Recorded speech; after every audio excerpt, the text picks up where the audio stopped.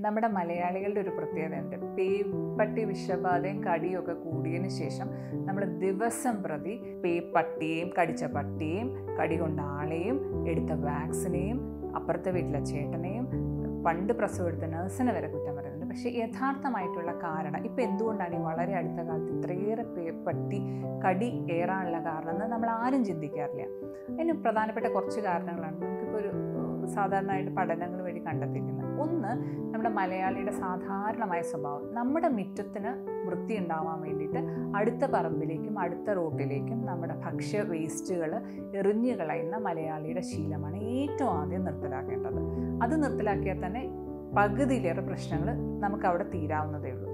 രണ്ടാമത്തെ പ്രശ്നം എന്ന് പറയുന്നത് ഇപ്പോൾ ഈ വളരെ അടുത്ത കാലത്ത് കോവിഡിന്റെ പ്രശ്നങ്ങൾ വന്നിട്ട് നമ്മൾ മിക്കവാറും പേര് വർക്ക് ഫ്രം ഹോമായി നമ്മൾ മുറിക്കകത്തോട്ട് ആൾക്കാരെല്ലാം ഒന്ന് ചുരുണ്ടുകൂടി അപ്പോൾ നമ്മുടെ റോഡുകൾ ഈ പറഞ്ഞ ജീവികൾക്ക് പെറ്റുപെരുകാനും നമ്മുടെ പല വീടുകളും അടച്ചിട്ടപ്പെട്ടു. നമ്മളെല്ലാം തറവാട് വീടുകളിലേക്ക് വിട്ടു കുറേ പേരെല്ലാം മൂവ് ചെയ്തു. നമ്മുടെ ഈ സ്റ്റോറേജ് ഏരിയാസൊക്കെ ഇങ്ങനെ അടച്ചു കിടക്കാൻ തുടങ്ങി. അതിനകത്തെല്ലാം ഈ പാവം ജീവികൾ പേപ്പട്ടികൾ അല്ലെങ്കിൽ സ്ട്രേ ഡോഗ്സ് എന്ന് പറയുന്ന വിഭാഗം പെറ്റുപെരുകി നമ്പർ വല്ലാണ്ട് കൂടിയിട്ടുണ്ട്. പിന്നെ ഇപ്പോൾ നിങ്ങൾ ശ്രദ്ധിച്ചു കാണുമല്ലോ മിക്കവാറും കടി കൊണ്ടവർ പറഞ്ഞ കാര്യം ബെൽറ്റ് ഇട്ട നായകളാണ് കടിച്ചിരിക്കുന്നത്.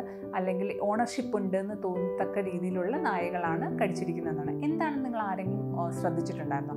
സംഭവിച്ചത് ഇതേ കോവിഡിന്റെ പ്രശ്നം കൊണ്ട് മിക്കവാറും പേര് കുട്ടികളെല്ലാം വീട്ടിലിരുന്ന സമയത്ത് അവരുടെ ഒരു സന്തോഷത്തിന് വേണ്ടിയിട്ട് നാട്ടിൽ നാട്ടിൻപുറത്തെ പട്ടികളെ എടുത്തു വളർത്തിയവരുണ്ട്.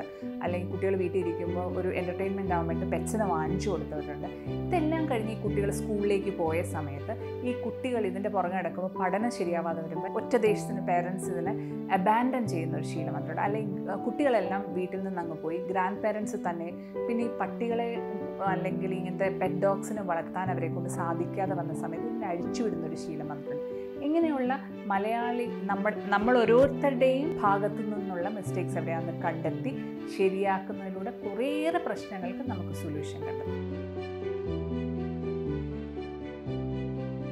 പ്രതിരോധം എത്രമാത്രം ഇമ്പോർട്ടന്റ് ആണെന്ന് അറിയണമെങ്കിൽ പറയാവുന്ന ഏറ്റവും നല്ല എക്സാമ്പിൾ എന്ന് പറഞ്ഞാൽ നമുക്കിത് ഹൺഡ്രഡ് പെർസെന്റ് ഫേറ്റിലാണെന്ന് പറയുമ്പോൾ പോലും ലോകം ഒട്ടുക്കുള്ള കണക്കുകൾ അനുസരിച്ച് ഏകദേശം മുപ്പതോളം കേസുകൾ പേപ്പട്ടി വിഷബാധ ഏറ്റതിനു ശേഷവും രക്ഷപ്പെട്ടതായിട്ടുള്ള കണക്കുകളുണ്ട്. അതിൽ ഇരുപത്തൊമ്പത് പേരും ഒരു പ്രാവശ്യമോ അല്ലെങ്കിൽ അതിൽ മുകളിലേക്കോ വാക്സിനേഷൻ എടുത്തിട്ടുള്ളവരായിരുന്നു എന്നുള്ളത് വള ഈ പ്രതിരോധത്തിന്റെ അത്യാവശ്യകതയെക്കുറിച്ച് അല്ലെങ്കിൽ ഒരു പട്ടി കടിച്ചു കഴിഞ്ഞാൽ അല്ലെങ്കിൽ ഒരു മൃഗം നമ്മളെ ഉപദ്രവിച്ചു കഴിഞ്ഞാൽ ഈ വാക്സിനേഷൻ എടുക്കുന്നതിന്റെ അത്യാവശ്യകതയിലേക്ക് വെളിച്ചം വീശുന്ന ഒന്നാണ്. അതുകൊണ്ട് തന്നെ പ്രതിരോധത്തിൽ ഊന്നി വേണം നമ്മൾക്ക് ഈ പേപ്പട്ടി വിഷബാധയെ നമ്മുടെ ഒപ്പം രാഷ്ട്രീയവും സമൂഹവും എല്ലാവരും ഒരുപോലെ നിൽക്കുമ്പോഴും നമ്മളുടെ ഭാഗത്തു നിന്ന് എടുക്കാവുന്ന ഏറ്റവും വലിയ സ്റ്റെപ്പ് എന്ന് പറയുന്നത് ഈ പ്രതിരോധത്തെക്കുറിച്ചുള്ള അവബോധവും അത് മുന്നോട്ട് വയ്ക്കുക